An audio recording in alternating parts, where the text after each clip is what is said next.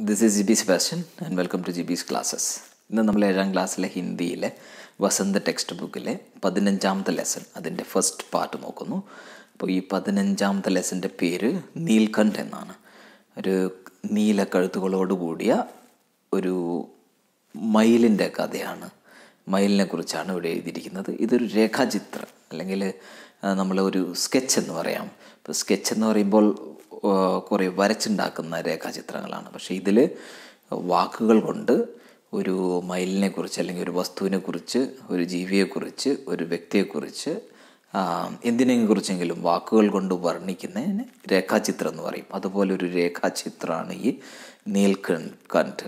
ഇതിലൊരു മയിലിന്റെ മയിലിനെ കുറിച്ച് വർണ്ണിച്ചിരിക്കുകയാണ് ലേഖിക ഇവിടെ അപ്പോൾ നമുക്ക് നോക്കാം ഏതാ ഈ ലേഖിക എന്ന് ഇത് മഹാദേവി വർമ്മ എന്ന ലേഖിക എഴുതിയിരിക്കുന്നതാണ് അപ്പോൾ നമുക്ക് പാഠത്തിലോട്ട് കടക്കാം ഉസ് ദിൻ एक अतिथि को स्टेशन पहुंचाकर मैंने मैं लौट रही थी कि चिड़ियों और खरगोशों की दुकान का ध्यान आ गया और मैंने ड्राइवर को उसी ओर चलने का आदेश दिया उस दिन ആ ദിവസം ഏക് അതിഥി കോ അതിഥി എന്ന് പറഞ്ഞാൽ ഒരു അതിഥി ആ തിഥി ആ എന്ന് പറഞ്ഞാൽ ഇല്ലാത്ത ഒരു തിഥി എന്ന് പറഞ്ഞാൽ ഡേറ്റ് ഒരു ഡേറ്റ് ഇല്ലാതെ എപ്പോൾ വേണമെങ്കിലും കടന്നു വരാൻ പറ്റുന്ന ആളാണ് അതിഥി അപ്പോൾ ആ ദിവസം ഞാനൊരു അതിഥിയെ ഒരു ഗസ്റ്റിനെ സ്റ്റേഷൻ പൗഞ്ചാക്കർ മേ ലോട്ട് റഹി സ്റ്റേഷനിൽ റെയിൽവേ സ്റ്റേഷനിൽ കൊണ്ടുവിട്ട് ചാക്കർ അവിടെ എത്തിച്ചിട്ട് ലോട്ട് റഹി തിരിച്ചു വരികയായിരുന്നു. ഈ ചിടിയോ ഓർ ഖർഗോശോ കി ദുക്കാൻ കാ ധ്യാൻ ആ ഗയ. എന്തിന്റെ ധ്യാൻ എന്ന് പറഞ്ഞാൽ ഓർമ്മ വരിക. അപ്പോൾ എന്തിന്റെ ഓർമ്മ വന്നത്? ചിടിയോ ചിടിയ എന്ന് പറഞ്ഞു കഴിഞ്ഞാൽ പക്ഷികൾ.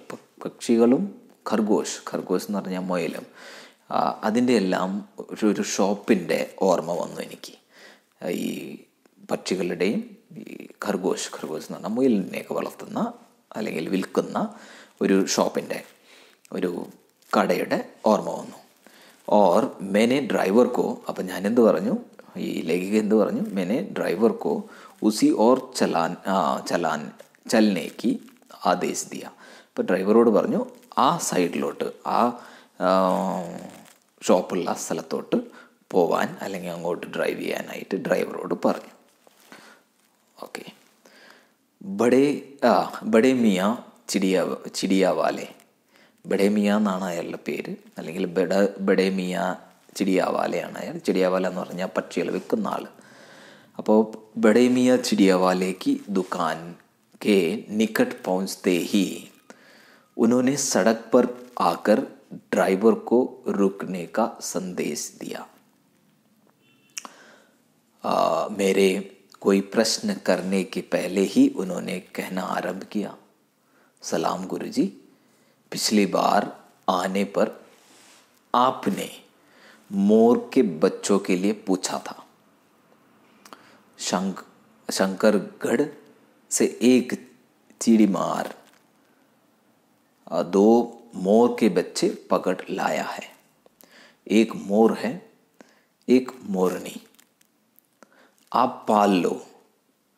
मोर के पंज, पंचों से दवा बनती है।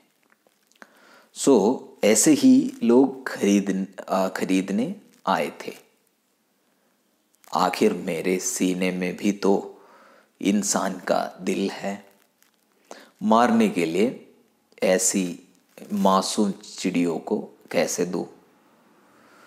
टालने के लिए मैंने कह कह दिया गुरु जी ने मंगवाए हैं। वैसे ये कम वक्त रोज़गार ही खराब है। बस पकड़ो पकड़ो, मारो मारो। ഇവിടെ പറയുന്നത് ഈ പാരഗ്രാഫിൽ പറയുന്നത് ബഡേ മിയ ചിടിയവാലയ്ക്ക് ദുക്കാന്റെ അടുത്ത് എത്തുന്നതേ ഉണ്ടായിരുന്നുള്ളൂ. ഉനോനെ സടക് പർ ആക്കർ ഡ്രൈവർക്കോ റുക്നേക്കോ സങ്കീർത്തിയ ദിയ. അപ്പോൾ ആ ബഡേമിയ ചിടിയവാല അല്ലെങ്കിൽ ആ പക്ഷിക്കാരന്റെ ഷോപ്പ് എത്തുന്നുണ്ടായിരുന്നുള്ളൂ അപ്പോഴേക്കും ആ പക്ഷിക്കാരൻ ഉനോനെ സടക് പർ ആക്കർ റോഡിൽ വന്ന് റോഡിൽ വന്നിട്ട് ഡ്രൈവറിനോട് നിൽക്കാനായിട്ട് ആംഗ്യം കാണിച്ചു. ഡ്രൈവർക്കോ ഒരു റുക്കിനെ റുക്കന എന്ന് പറഞ്ഞാൽ നിൽക്കുക. നിൽക്കാനായിട്ട് സങ്കീർത്തിയ. അല്ലെങ്കിൽ ആംഗ്യം കാണിച്ചു. അല്ലെങ്കിൽ നിൽക്കാൻ പറഞ്ഞു. മേരെ കൊയ് പ്രശ്ന കർണേക്ക് പെലഹി. ഞാൻ എന്തെങ്കിലും ചോദിക്കുന്നതിന് മുമ്പ് തന്നെ ഉനോനെ കേന ആരംഭിക്കുക. ആ ചിടിയവാല ആ പക്ഷി വിൽപ്പനക്കാരൻ പറയാൻ തുടങ്ങി. പറയാനായിട്ട് തുടങ്ങി. ആരംഭിക്കുക. കഹന ആരംഭിക്കുക. പറയാൻ തുടങ്ങി. എന്താ പറഞ്ഞ? സലാം ഗുരുജി. ടീച്ചറാണ്. സലാം ഗുരുജി पिछली बार आने पर आपने मोर के बच्चे के लिए पूछा था ഗുരുജി സ്ൻ- ആ, അതായത് റെസ്പെക്റ്റോടെ അഭിസംബോധന ചെയ്തതാണ് സലാം സലാം ഗുരുജി പിച്ച്ലി ബാർ കഴിഞ്ഞ പ്രാവശ്യം ആനേപ്പർ കഴിഞ്ഞ പ്രാവശ്യം വന്നപ്പോൾ ആപ്പിനെ മോർക്ക് ബച്ചോക്കിലി പൂച്ചാത്ത മോർ എന്ന് പറഞ്ഞാൽ മയിൽ നിങ്ങൾ കഴിഞ്ഞ പ്രാവശ്യം വന്നപ്പോൾ മയിലിൻ്റെ കുട്ടിയുണ്ടോ കു- കുഞ്ഞുണ്ടോ എന്ന് ചോദിച്ചിരുന്നു. ശങ്കർ ഗഡ്സെ ഏക് ചിടിമാർ ചിടിമാർ. അപ്പോൾ ശങ്കർഗഡിലെ അതൊരു സ്ഥലപ്പേരാണ്. അവിടെ നിന്ന് വെച്ചാൽ ചിടിമാർ എന്ന് പറഞ്ഞാൽ ഈ വേട്ടക്കാരൻ അല്ലെങ്കിൽ പക്ഷികൾ പിടിക്കുന്ന ആൾ ദോ മോർക്കെ ബച്ച് പകടിലായ രണ്ട് ഇതിന്റെ മയിലിന്റെ പീകോക്കിന്റെ കുട്ടികളെ പിടിച്ചു കൊണ്ടുവന്നിട്ടുണ്ട്. പകഡ് ലായ ഹെ പിടിച്ചു കൊണ്ടുവന്നിരിക്കുന്നുണ്ട്. ഏക് മോർ ഹെ ഓർ ഏക് മോർനി ഒരു ഒരെണ്ണം മോർ ആണ് മറ്റേത് മോറിനിയാണ്. അത് മോർ എന്ന് പറയുന്നത് പൂവനും മോറിനി എന്ന് പറയുന്നത് പെടയും. ആ പാലിലോ നിങ്ങൾ വളർത്തിക്കോ അത്. പാലിലോ എന്ന് പറഞ്ഞാൽ വളർത്തിക്കോ. മോർക്ക് പഞ്ചോസ് ദവ ബന്തി ഹെ. മോറിന്റെ ഈ മയിലിന്റെ കാലിൽ കൊണ്ട് കാൽ ഉപയോഗിച്ച് മരുന്നുണ്ടാക്കുന്നുണ്ട്. സോ ഏസെ ഹി ലോ ഖരീദിനെ ആയതേ. അങ്ങനെ അങ്ങനെ കൊന്ന് അതിന്റെ കാൽ കൊണ്ട് മരുന്നുണ്ടാക്കാനായിട്ട് ആൾക്കാർ ചോദിച്ചു വന്നിരുന്നു. ആഖിർ മേരെ സീനെ മേ ബി തോ ഇൻസാൻ ഇൻസാൻ ക ഹെ. എന്റെ നെഞ്ചിലും ഇൻസാൻ മനുഷ്യന്റെ ഹൃദയമാണ്. മാറിനെ ഗലിയെ ഏസി മാസും ചിടിയാക്കു കേസെതു അതായത് കൊല്ലാനായിട്ട് ഞാൻ എങ്ങനെ ഈ പാവം പക്ഷികളെ കൊടുക്കും? കേസെതു എങ്ങനെ കൊടുക്കും? ടാലിനെ ഗലിയെ മേനെ കഹ? അത് ഒഴിഞ്ഞു പോകാനായിട്ട് ടാലിന എന്ന് പറഞ്ഞാൽ ഒഴിഞ്ഞു ഒഴിച്ചു വിടുക. അപ്പോൾ ഒഴിഞ്ഞു പോകാനായിട്ട് ഞാൻ അവരോട് പറഞ്ഞു ഗുരുജീനെ മങ്കുവായ. ഗുരുജി ഗുരുജി വേണമെന്ന് പറഞ്ഞിട്ട് ഞാൻ കൊണ്ടുവന്നതാണ്. വൈസെ യേ കമ്പക് റോസ്ഗാർ അവർ അയാൾ അയാളുടെ ജോലിയെ താഴ്ത്തി പറയുകയാണ് ഈ ഈ നശിച്ച ജോലി അല്ലെങ്കിൽ ഈ ഇപ്പോൾ കൊള്ളരുതാത്ത ജോലി ഖറാബ് ഹേ ഖറാബ് എന്ന് പറഞ്ഞാൽ ഈ ചീത്തയാണ്. എന്താന്ന് പറഞ്ഞാൽ പകടോ പകടോ മാറോ മാറോ പിടിക്കുക പിന്നെ അതിനെ കൊല്ലുക അത് എനിക്കും തീരെ താല്പര്യമില്ലാത്തതാണ് എന്നൊക്കെയാണ് ആ ആ, പക്ഷി വിൽപ്പനക്കാരൻ പറയുന്നത് बड़े मियाँ के भाषण की तूफान मेल तूफान मेल के लिए कोई निश्चित स्टेशन नहीं है सुनने वाला थक कर जहाँ रोक दे वहीं स्टेशन मान लिया जाता है അപ്പോൾ ബഡേ മിയാക്ക് ഭാഷൻക്ക് തുഫാൻ മേൽ ബഡേ മിയ അയാൾ ആ പക്ഷി വിൽപ്പനക്കാരൻ ഒരുപാട് സംസാരിക്കും. അതുകൊണ്ടാണ് അയാളുടെ സംസാരത്തെ തൂഫാൻ മേൽ ഒരു തീവണ്ടിയോടായിട്ട് ഉപയോഗം ഉപമിച്ചിരിക്കുകയാണ്. തൂഫാൻ മെയിൽ കെ ലിയെ കൊയ് നിശ്ചിത് സ്റ്റേഷൻ നെഹി ഹെ. അപ്പോൾ ആ മെയിലിന് അയാൾ ആ തീവണ്ടിക്ക് ആ തീവണ്ടിക്ക് ഒരു സ്റ്റോപ്പും ഇല്ല ഒരു നിശ്ചിത സ്റ്റോപ്പില്ല. എന്താന്ന് പറഞ്ഞാൽ അയാൾ എവിടെയും നിർത്താറില്ല. അയാൾ സംസാരം നിർത്താറില്ല അപ്പോൾ സുന്യ വല തക്കർ ജഹാ റോഗ് ദേ ഇപ്പോൾ കേൾക്കുന്ന ആൾ മതിയായിട്ട് അയാളോട് പറയും നിർ- നിർത്താൻ പറയുമ്പോൾ അവിടെയാണ് അയാളുടെ സ്റ്റോപ്പ് വഹി സ്റ്റേഷൻ मान लिया जाता है इस तथ्य से परिचित होने के कारण ही मैंने ബീച്ച് മേ ഉന്നെ റോക്കർ പൂച്ച അപ്പോൾ ഇതിനെക്കുറിച്ച് ഈ സത്യത്തെക്കുറിച്ച് ഈ സ്- ഈ ലോജിക്ക് എനിക്ക് അറിയാവുന്നതുകൊണ്ടാണ് പരിചിത് ഹോനയ്ക്ക് കാരൺ അറിയാവുന്നത് കൊണ്ട് ഞാൻ എന്ത് പറഞ്ഞു ഇടയ്ക്ക് മേനെ ബീച്ച് മേ ഉന്നോനെ റോക്കർ പൂച്ച ഇടയ്ക്ക് ഞാൻ അയാളൊന്ന് നിർത്തി അയാളെ കൊണ്ട് നിർത്താൻ പറഞ്ഞ് ഞാൻ ചോദിച്ചു മോർ കെ ബച്ചെ ഹേ കഹാ മോർ കെ ബച്ചെ ആ പീകോക്കിൻ്റെ മയിലിൻ്റെ കുട്ടി എവിടെ നീ പറഞ്ഞല്ലോ മോറിൻ്റെ കുട്ടിയുണ്ടെന്ന് അതെവിടെ बड़े मियाँ के हाथ के संकेत का अनुसरण करते हुए मेरी दृष्टि एक तार के छोटे से പിഞ്ചടെ തക് പൗഞ്ചി. അപ്പോൾ ബഡെമിയ അയാളുടെ കൈകൾ കൊണ്ട് ഇന്ന സ്ഥലത്തോട്ട് ആംഗ്യം കാണിച്ചു. അത് അതനുസരിച്ച് ഞാൻ അങ്ങോട്ട് നോക്കിയപ്പോൾ മെരി ദൃഷ്ടി ഏക് താർക്കെ ഒരു എന്താണ് വയറുകൊണ്ട് ഉണ്ടാക്കിയ ഒരു ചെറിയ ഒരു പിഞ്ചട. പിഞ്ചട എന്ന് പറഞ്ഞാൽ കൂട്. ആ കൂടുകളിൽ എത്തി. എന്റെ എന്റെ ദൃഷ്ടി അല്ലെങ്കിൽ എന്റെ നോട്ടം. ജിസ്മേ ആ തിത്തറോ കെ സമാൻ ദോ ബച്ച് ബേഠേ ഹേ. ബേഠേ തേ തിത്തർ എന്ന് പറഞ്ഞാൽ ഈ കാടക്കോഴികളെ പോലെ ചെറിയൊരു കോഴി ചെറിയൊരു പക്ഷി അപ്പോൾ അതിൽ ആ ഒരു ചെറിയൊരു കൂടിനകത്ത് ഒരു ആ, ചെറിയ കാടക്കോഴികളെ പോലെ രണ്ട് പക്ഷികളിരിക്കുന്നു पिंजड़ा इतना संकीर्ण था कि वे पक्षी पक्षी शावक जाली के गेल फ्रेम में अ, वो जाली के गोल फ्रेम में किसी अ, जड़े चित्र ആ, ജസ ലഗ് റഹത്തെ അപ്പോൾ ആ ഒരു ഒരു കൂട് കണ്ടു അതിനകത്ത് രണ്ട് പക്ഷികൾ ഇരിക്കുന്നുണ്ട്. അപ്പോൾ പിഞ്ചട ഇത്തിന സങ്കീർണത. ആ പിഞ്ച പിഞ്ചട എന്ന് പറഞ്ഞാൽ ആ കൂട് എന്ന് പറഞ്ഞാൽ വളരെ ചെറുതായിരുന്നു. ഈ പക്ഷി ശാവക് പക്ഷി ശാവക് എന്ന് പറഞ്ഞാൽ പക്ഷി കുട്ടികൾ. ജാലിക്ക് ഗോൾ ഫ്രെയിമേ ആ ഒരു ഇതിന്റെ വലയുടെ ഒരു ഗോൾ ഫ്രെയിം എന്ന് പറഞ്ഞു കഴിഞ്ഞാൽ വട്ടത്തിലുള്ള ഒരു ഫ്രെയിമിൽ അകത്ത് ഫ്രെയിം ചെയ്തു വെച്ച പോലെയായിരുന്നു ആ പക്ഷികൾ ഇരുന്ന ഇരുന്നിരുന്നത് എന്താന്ന് വെച്ചാൽ ആ കൂട് അത്ര ചെറുതായിരുന്നു അതിനിരിക്കാൻ പോലും പറ്റാത്ത പോലെ അതിൽ ഫ്രെയിം ചെയ്ത പോലെ വെച്ച പോലെ തോന്നുമായിരുന്നു എന്നാണ് ലേഖിക ഇവിടെ പറയുന്നത് मेरे निरीक्षण के साथ मेरे निरीक्षण के साथ साथ बड़े मियाँ की भाषण मेल ചലി ജാ രഹി थी അപ്പം ഞാനിങ്ങനെ നോക്കിക്കൊണ്ടിരിക്കുകയാണ് നിരീക്ഷണം എന്ന് പറഞ്ഞു കഴിഞ്ഞാൽ നോക്കിക്കൊണ്ടിരിക്കുന്നു. അതിന് കൂടെ തന്നെ ഞാനിങ്ങനെ ആ പക്ഷികളെ നോക്കുകയാണ്. അതിന്റെ കൂടെ തന്നെ ഈ ബഡേമിയ ഈ പക്ഷിക്കാരന്റെ പക്ഷി വിൽപ്പനക്കാരന്റെ ഭാഷൻ മേൽ ഭാഷൻ മേൽ പിന്നെയും ചെലിചാരിയെ അയാളിങ്ങനെ സംസാരിച്ചു കൊണ്ടിരിക്കുകയാണ് ഈ മാ ആ ഇമാൻ കസം ഗുരുജി ചിടിമാറിനെ മുത്സെ ഇസ് മോർ കെ ജോഡോ കെ നഗത് തീസ് റുപ്യ ലിയേ. അപ്പോൾ ഈ ചിടിമാർ പക്ഷി പിടുത്തക്കാരൻ വേട്ടക്കാരൻ ആ രണ്ട് പക്ഷികൾക്ക് വേണ്ടി ആ രണ്ട് മയിലിന്റെ കുട്ടികൾക്ക് വേണ്ടി ഇയാളിൽ നിന്ന് മുപ്പത് രൂപ വാങ്ങിയെന്നാണ് അയാൾ പറയുന്നത്. അപ്പോൾ ഈ ലേഖിക ചോദിക്കുന്നതിന് മുമ്പ് തന്നെ ഇയാൾ പറയുകയാണ് ഈ ഇതിനെ കൊണ്ടുവന്ന് തന്ന ആൾ എന്റെ കയ്യിൽ നിന്ന് ഇതിന് വേണ്ടിയിട്ട് മുപ്പത് രൂപ വാങ്ങിച്ചു. ബാർഹ കഹ भाई ज़रा सोच तो। अभी इनमें मोर की कोई खासियत भी है कि तू इतनी बड़ी आ, कीमत ही मांगने चला? पर वह मुंजी क्यों सुने आ, सुनने लगा, आपका ख्याल करके अचता पछता कर देने ही पड़ा। अब हम അപ്പോൾ ഇങ്ങനെ അയാൾ പറയുകയാണ് കുറേ കാര്യങ്ങൾ വിവരിക്കുകയാണ്. അയാൾ ഈ രണ്ട് കുട്ടികളെ കൊണ്ടുവന്നു. ഈ വേട്ടക്കാരൻ ഈ പക്ഷിപിടുത്തക്കാരൻ ഞാൻ മുപ്പത് രൂപ കൊടുത്തു. അപ്പോൾ ഞാൻ അവരോട് പറഞ്ഞു പന്ത്രണ്ട് രൂപയ്ക്ക് തരുമോയെന്ന് പക്ഷേ അയാൾ തന്നില്ല.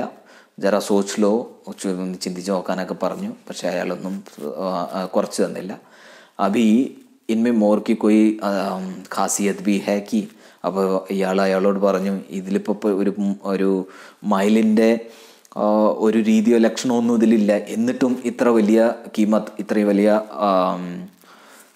പൈസ എന്തിനാണ് വാങ്ങിക്കുന്നത്? അങ്ങനെയൊക്കെ ചോദിച്ചു ബാർഗെയിൻ ചെയ്ത് നോക്കി എന്നാണ് പറയുന്നത്. പർ വോ മൂഞ്ചി ആ ദുഷ്ടൻ. ക്യൂ സുൻ സുന്നിലക അപ്പോൾ അയാൾ എന്ത് എന്തിന് ഇതെല്ലാം ചി എന്റെ വാക്ക് കേൾക്കും? അയാളൊന്നും എന്റെ വാക്ക് കേട്ടില്ല.